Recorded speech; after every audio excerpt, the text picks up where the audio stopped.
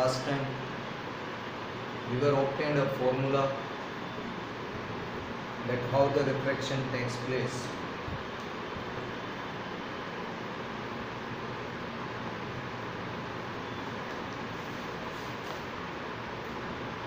At a spherical surface. And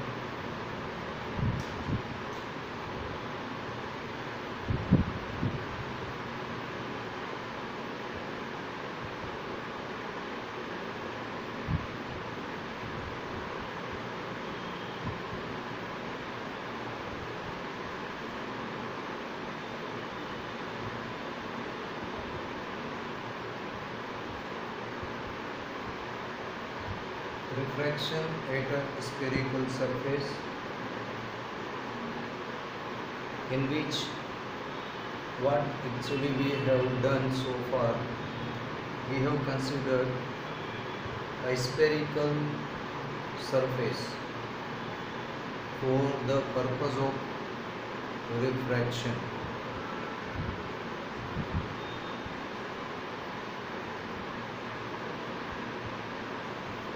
in which a ray of light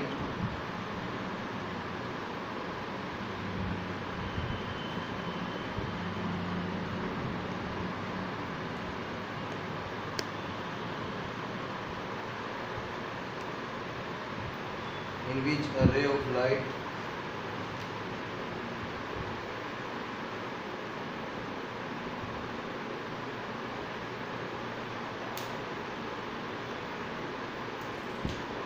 this is our spherical surface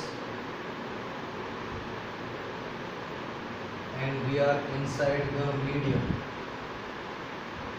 This time actually spherical surface we are showing here in a zoom. So that finally we come to know that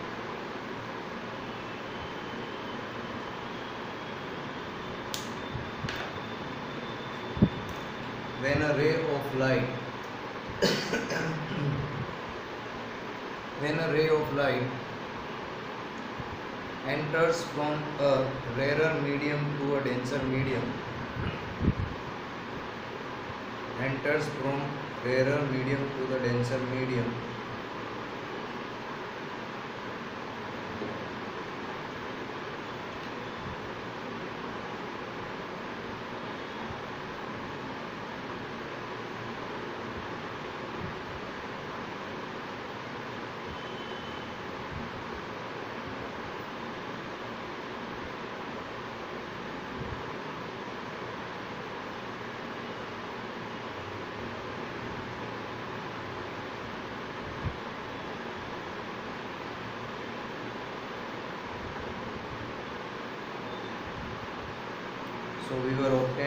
formula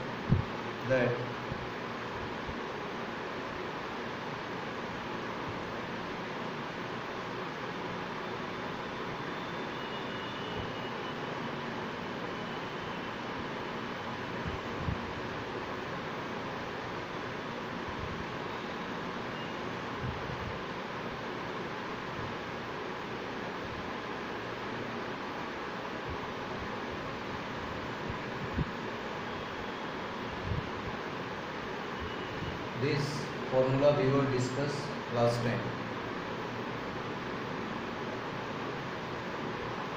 This is your spherical surface which is refractive surface and here the refraction of light is taking place and we were obtained this last time. Now we are going to discuss about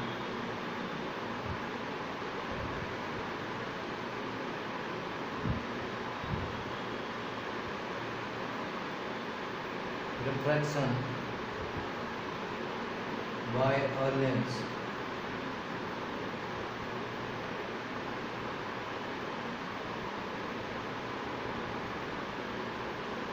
refraction by a lens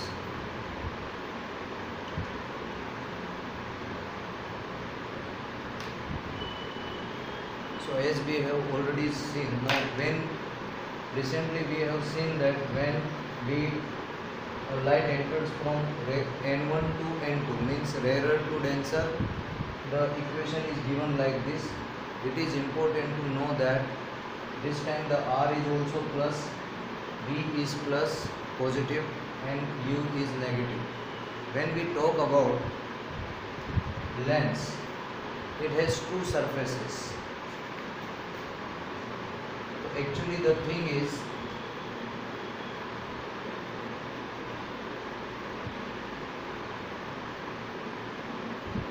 suppose this is the lens.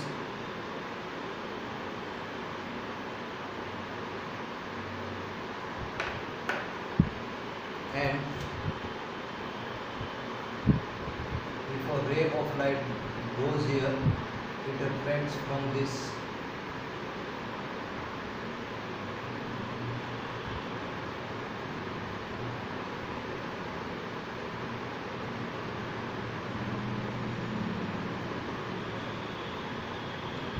यही हम जानते हैं कि अगर हमारे पास एक lens है तो उसमें इधर लेफ़्ट साइड में अगर ऑब्जेक्ट है तो राइट साइड में इमेज बनता है। और लेंस जो होते हैं, वो रिफ्रैक्शन करते हैं। मींस लाइट को रिफ्रैक्ट करवाते रिफ्रैक्शन होता है यहाँ पे। रिफ्रैक्शन के थ्रू इमेज बनता है। जबकि मिरर जो होते हैं, उनमें रिफ्लेक्शन से इमेज बनता है। तो वहाँ पे रिफ्लेक्शन से इमेज बनता है यहाँ पे रिफ्रैक्शन से इमेज बनता है। अब हम क्या करेंगे? तो हमें एक्चुअली इसको दो पार्ट में देखना पड़ेगा। तो अगर हम जब लेंस की बात करते हैं तो इसमें दो रिफ्लेक्टिव सरफेसेस हैं। यह है आपका पहला रिफ्लेक्टिव सरफेस और यह है आपका दूसरा रिफ्लेक्टिव सरफेस तो क्या हम पहले को जूम करके दिखा सकते हैं? तो हम पहले वाले को जूम करके दिखाएँगे और क्या देखेंगे?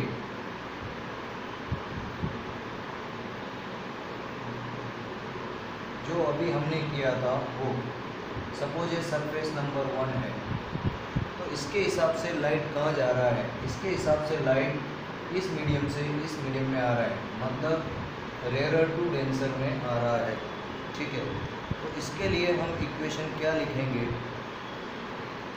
इसके लिए हम इक्वेशन लिखेंगे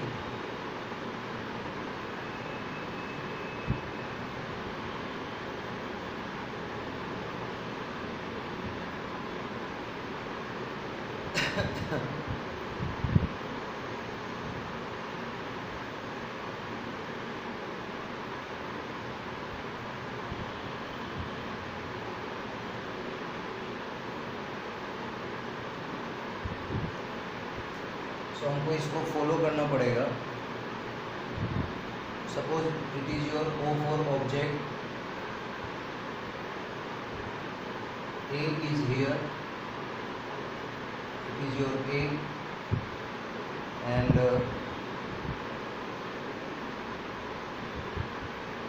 here is taking B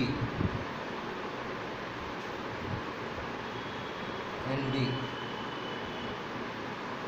so from for this point it is B as well as D and instead of taking its final image it is the actually this is the final image this is the object लेकिन एक secret मैं आपको बता रहा हूँ कि जब हम रिफ्रैक्शन की बात कर रहे हैं तो एक्चुअली जो इमेज आपको दिख रहा है वो फाइनल इमेज इसका मतलब कि एक बीच में इमेज और बनता है जो कि इंटरमीडिएट होता है। इंटरमीडिएट का मतलब क्या हुआ? कि पहले ये वाला सरफेस एक इमेज बनाता है, उसको सरफेस नंबर वन जैसे ये लेंस है। तो पहले इसको अलग कर दो आप, इसको अलग कर दो, इसको देखो। तो ये अगर इसके सामने ऑब्जेक्ट रखता है तो यहाँ से रिफ्लेक्शन होगा। इधर एक इमेज बनेगी। फिर अगर वो इमेज यहाँ बनता है तो अगर मैं इस दूसरे वाले पार्ट को, इस पार्ट टू को अगर मैं जूम कर लूँ तो अब इसको हटा लूँ तो क्या होगा कि जो पहले वाले ने इमेज बनाया था, वो दूसरे वाले के लिए ऑब्जेक्ट का काम करेगा। और ये दूसरा जो लेंस है, ये जो सरफेस है टू टू वाला सरफेस ये कोई अलग इमेज बनाएगा और वो इमेज इस ऑब्जेक्ट की जो कि पहले पार्ट के आगे रखा है, उसकी फाइनल इमेज बनेगी। कुल मिला के बात यह है कि जब हम लेंस से रिफ्रैक्शन की बात डिटेल में बात करते हैं तो सवाल यही आता है कि यहाँ चलता क्या है? यहाँ पे ये चलता है जो बहुत सीक्रेट है कि पहले एक सरफेस का हम रिफ्रैक्शन करते हैं इस टाइप से। और ये फॉर्मूला लिखकर हम इक्वेशन नंबर वन लिख सकते हैं। फिर हम दूसरी सरफेस के लिए, जो ये वाला सरफेस है, इसको हम सरफेस नंबर वन बोल सकते हैं। तो इसके लिए इक्वेशन ये होगा, बस फ़र्क सिर्फ़ क्या है आपको? यहाँ पे आपको ये आपका इंटरमीडिएट हो जाएगा तो इसको आप आई वन बोल सकते हैं। या इसको वी वन बोल सकते हैं आप, क्योंकि ये इंटरमीडिएट है। मतलब ये आई फाइनल इमेज हो गया। तो ये होगा। तो ये बोल सकता हूँ मैं कि ये जो रिफ्लेक्शन हो रहा है, वो ये है। तो इस साइड का जो रिफ्लेक्शन हो रहा हो, वो कैसे करेंगे? तो इसके लिए भी एक इक्वेशन जैसे हमने इस सरफेस के लिए एक इक्वेशन बनाया, उसी टाइप से इस पर भी रिफ्लेक्शन हो रहा है। तो इसको हम जूम करके देखेंगे। तो ये हमारा सरफेस नंबर टू है। ये वाला अब ये क्या करता है? कि जो इसने इमेज बनाया है। ठीक है? वो उसको अपनी ऑब्जेक्ट समझ लेता है। ठीक है? तो यहाँ पे दो तीन चीज़ें आपको करनी पड़ेगी।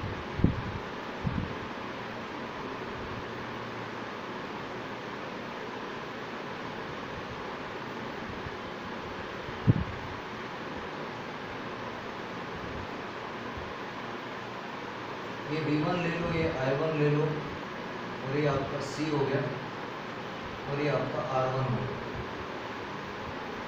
सरफेस वन के लिए सब कुछ वन ले लो यहाँ। एन वन एन टू वही रहेगा, बाकी सबको वन ले लो। कि जो इसने इमेज बनाई वो आई वन है। ये डिस्टेंस जो इमेज का डिस्टेंस है, ये आपका आर वन हो जाएगा यहाँ से, यहाँ तक। और ये आपका हो जाएगा। बी वन और इसके बेसिस पे आपने इक्वेशन लिख दिया, जो कि बिल्कुल सही है। बस यहाँ पे आपको आर वन लेना है। आर वन यहाँ पे पॉजिटिव रहेगा क्योंकि ये राइट साइड में है।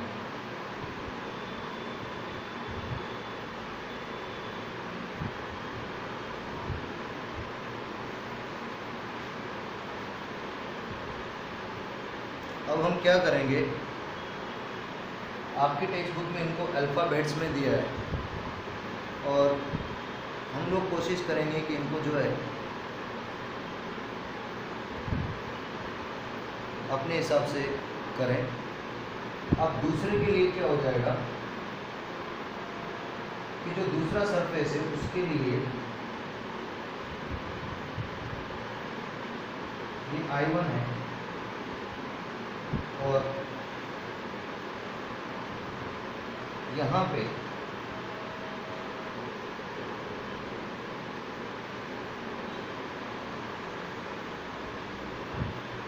ये फाइनल इमेज है। अगर ये फाइनल इमेज है तो ये तो वी वन हो जाएगा। तो ये आपका क्या हो जाएगा? आर टू हो जाएगा इसको इसको आप वी वन ही बोलेंगे। ये आपका आर टू हो गया, ठीक है? और इस टाइम ये एन टू से एन वन में प्रवेश कर रही है। तो now the object is travelling from N two to N one और जब वह एन वन से एन टू में आ रहा था तो हम इसको ऐसे लिख रहे थे, जब ये एन वन से एन टू में आ रहा था तो हम इस इक्वेशन को ऐसे लिख रहे थे। अब जो रे ऑफ़ लाइट है तो रे ऑफ़ लाइट पहले एन वन से एन टू में आ रहा था और ये इक्वेशन हमको मिल गया। अब एन टू से एन वन में आ रहा है। तो ये इक्वेशन आपको मिलेगा। इसको हम कैसे लिखेंगे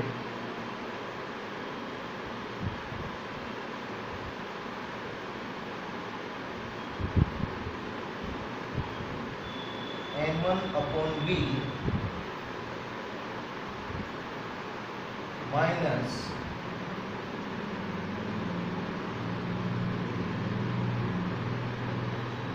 minus this is actually B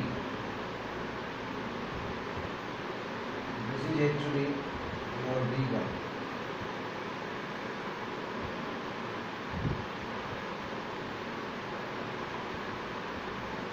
minus n2 upon B1 equals to n1 minus n2 upon minus r2 okay because this time it is moving from n2 to n1 जब रे ऑफ़ लाइट इसके लिए n2 से n1 में जा रहा है क्योंकि मैंने आपको बोला कि ये एक बार इसके लिए इक्वेशन बनाएँगे एक बार इसके लिए इक्वेशन माने इसकी इक्वेशन को नंबर वन बोलेंगे, इसकी इक्वेशन को नंबर टू बोलेंगे। आपके टेक्स्ट बुक में अल्फ़ाबेट्स का हेल्प लिया है, पर हम इसको डायरेक्ट कर देंगे और जब इन दोनों को ऐड करेंगे तो हमारे पास क्या आ जाएगा? Adding this to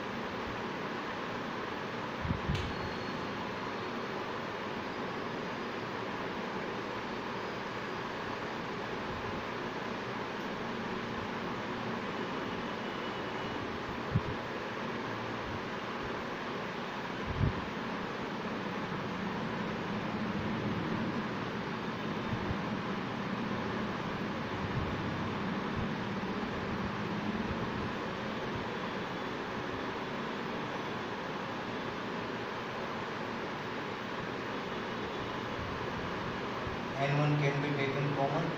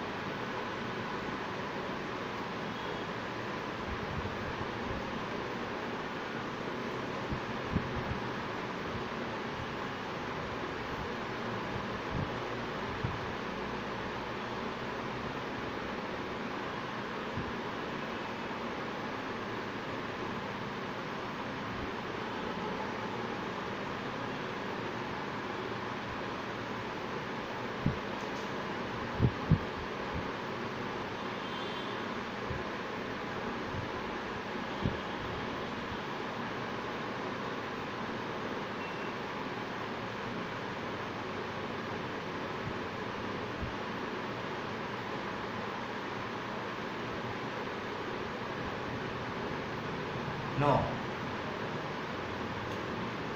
this formula is a real formula when suppose you have uh, two, uh, such uh, lens in which the two types of radius of curvatures are there. For left side if the radius of curvature is r1 for right side the radius of curvature is r2 then this is the final formula for what about this? This is the refractive index of medium 2 with respect to the medium 1 so if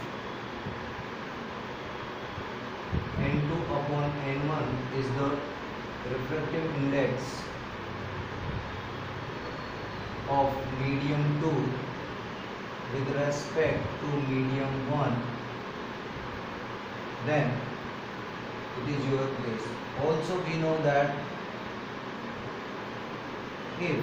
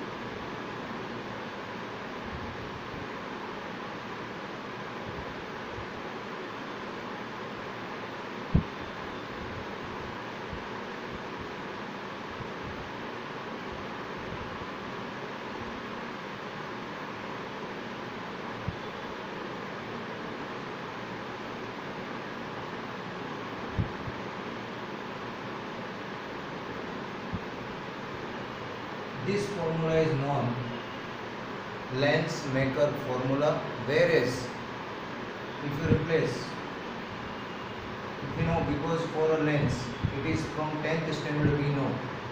If we write this it can be written as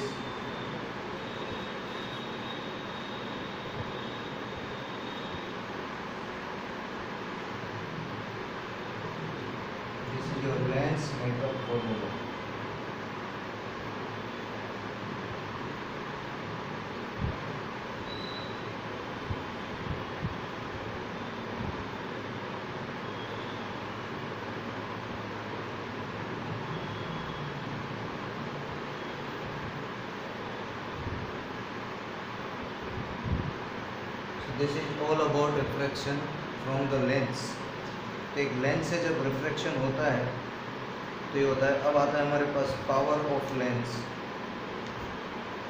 what is the meaning of power of lens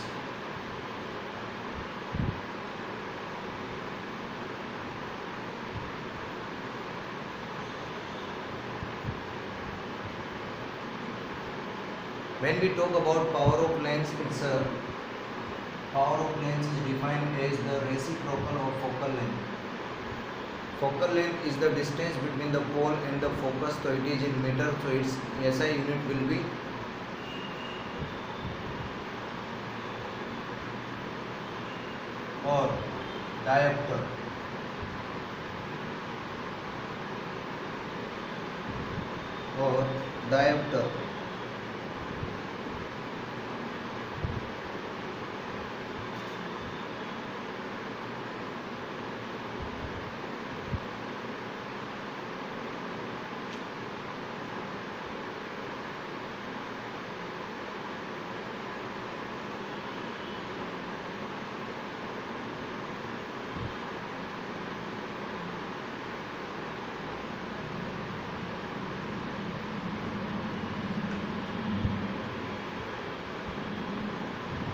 So when we talk about power of lens, it is always the reciprocal of focal length of a given lens.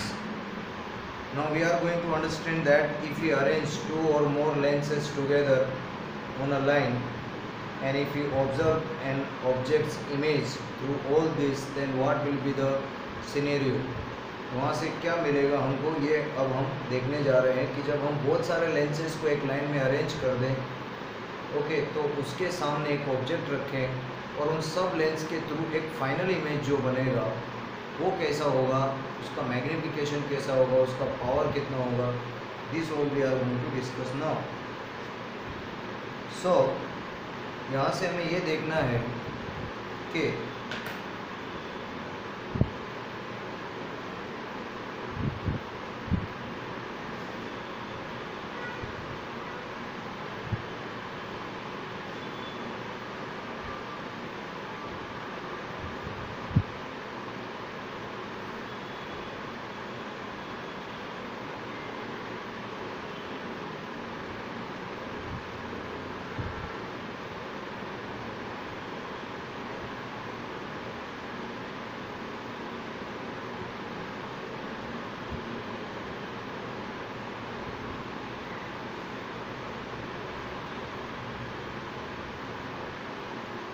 इससे पहले हमने combination of register पढ़ा है combination of capacitor हमने पढ़ा है combination of sales पढ़ा है। वो इलेक्ट्रिसिटी में हमने सब पढ़ा था। अभी हम पढ़ने जा रहे हैं कॉम्बिनेशन ऑफ़ लेंस तो क्या होता है कि जब हम बहुत सारे लेंस को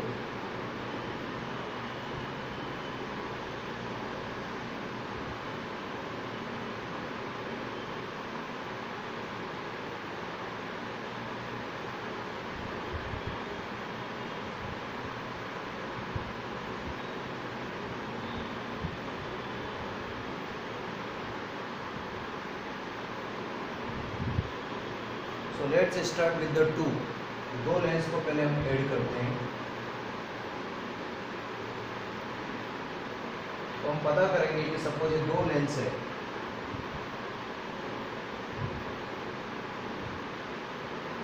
इसका फोकल लेंथ अगर F1 है, इसका फोकल लेंथ F2 है। और यहाँ कोई ऑब्जेक्ट है। और ये कोई इमेज है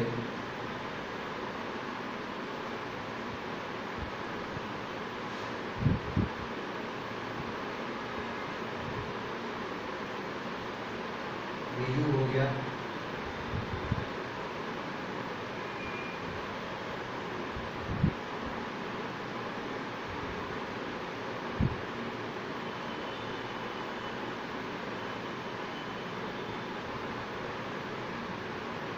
this is the final image so it will be your B hope you understand now if we apply the lens formula for this one for this one it's uh, n1 and if we apply the formula for this one what is what is going to be happen here it is going to be happen इसका image कितना है one upon B one तो पहले वाले का image I one है तो lens one के लिए object is a co-image at I one इसलिए इसका इमेज डिस्टेंस हम वी वन ले रहे हैं और इसको हम लोग यू ले रहे हैं।